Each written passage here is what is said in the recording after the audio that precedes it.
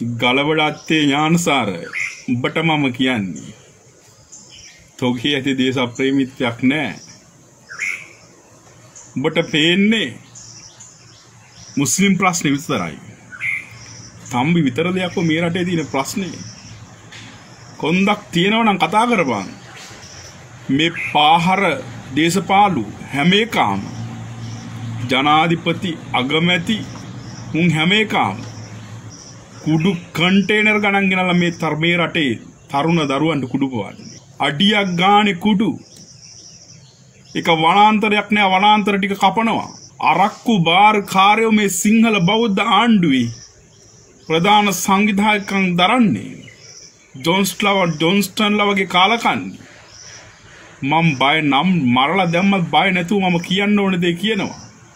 ඔබ මහලොකු සිංහෙක් නම් මම ඔබට අභියෝග කරනවා. කතා කරපම මේ දුප්පත් මිනිස්සු පිළිබඳව.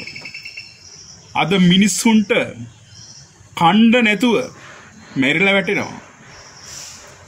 බඩු මිල අහස උසට මිනිස්සුන්ට ජීවත් වෙන්න විදිහක් නැහැ. හාල් අයිතිකාර ඩඩ්ලි සිරිසේනලා සීනි සමාගම්කාරයෝ මේවා හංගනකම් මේ රටේ ජනාධිපති බලාගෙන දින්නේ මම මේ රටේ ජනාධිපති නම් ඩඩ්ලි සිරිසේනය කද නෑ සීනි සමාගංකාරයෝ නෑ මේ හොර ජාවාරංකාරයන්ගේ හැම්ම දේපලක්ම රාජසන්තක කරලා මිනිස්සුන්ට අසූ පහට තිබිච්ච සීනි එකසිය දිහට නෙවෙයි නිකම් බෙදල දෙනව නිකං හැම මිනිහෙකුටම සීනි නොමිලේ දෙනවා අසූ පහට තිබිච්ච සීනි දෙසීය පැනලා එකසිය තිය හතලියට මිනිස්සුන්ට ගණ්ඩ වෙලා. එ අසාධාරණකම්. ඥානසාර උඹ ඇත්තටම මේ ජාතියට ආදරය කරන එකෙක් නම් මේවට විරුද්ධව කතා කරපා රට පුරා සූදු පිටි. බෙහිතවතා තිරංග සුමතිපාලයව කරන්නේ. ඒවට විරුද්ධව කතා කරපා බලට පේන්නේ මේ රටේ මුස්ලිම් මිනිස්සු විතරද? ඒකත් ප්‍රශ්නයක්. මේ රටේ සිංහල දෙමළ මුස්ලිම් සියලු දෙනා ජාතිවාදයෙන් අන්තවාදයෙන් තොරව එක අම්මගේ වගේ දරුව වගේ එකට ඉන්න පුළුවන්. මේ හැම්ම දේම කරලා තියෙන තමන්ගේ පැවැත්ම වෙනුවෙන් මේ නරුම පාලකයෝ. ලංකාවේ ඉන්න ඥානසාර්ට මම නැවත කියනවා.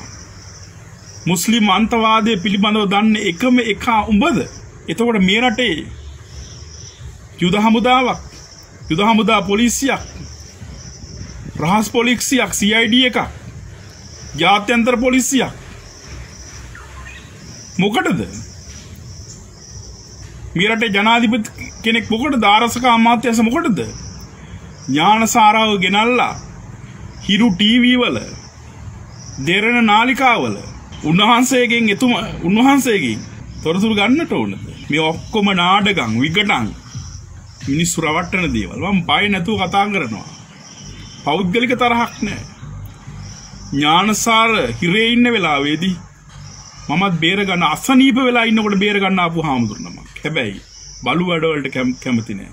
මාගල් කන්දේ සුදත් උඹත් හොඳ ජාවාරංකාරයෙක් තොපි හැම ඒකාම යන්නේ කෝටි ගණන් වටින වාහනවල. කොහොමද ඒව ගන්න සල්ලි? මේ රටේ මිනිස්සුන්ට ප්‍රශ්න ගොඩක් තියෙනවා.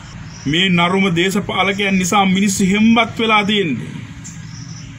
මේ මිනිස්සු ලක්ෂ ගණන් දහස් ගණන් කෝටි දෙකහමාරම මහා පාරට බහින්න කාලෙ හරි. මේ රටට වින කරන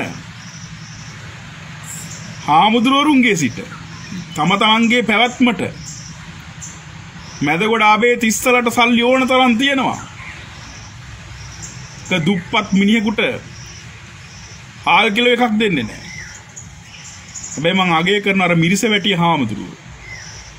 උන්වහන්සේ මන් දකිනවා මිනිසුන්ට උදව් කරනවා. මේ රටේ කෝටි ගණන් අටපිරිකර දහස් ගණන් පූජ කරපු පන්සල් තියෙනවා. රුවන්වැලි සෑය වගේ නම් වශයෙන් කියනවා. එක හාල් කිලෝ එකක් දෙන්නේ නෑ මිනිස්සුන්ට කනගාටුයි. දුප්පත් මිනිසුන්ට ඉවසුව ඇති ජාවාරංකාරයන්ගෙන් ජාවාරංකාර පූජකයන්ගෙන් ජාවාංක ජාවාරංකාර සංඝයාගෙන් ජාවාරංකාර දේශපාලුවන්ගේ මේ රට නිදහස් කරගන්න අවස්ථාව ඇවිල්ලා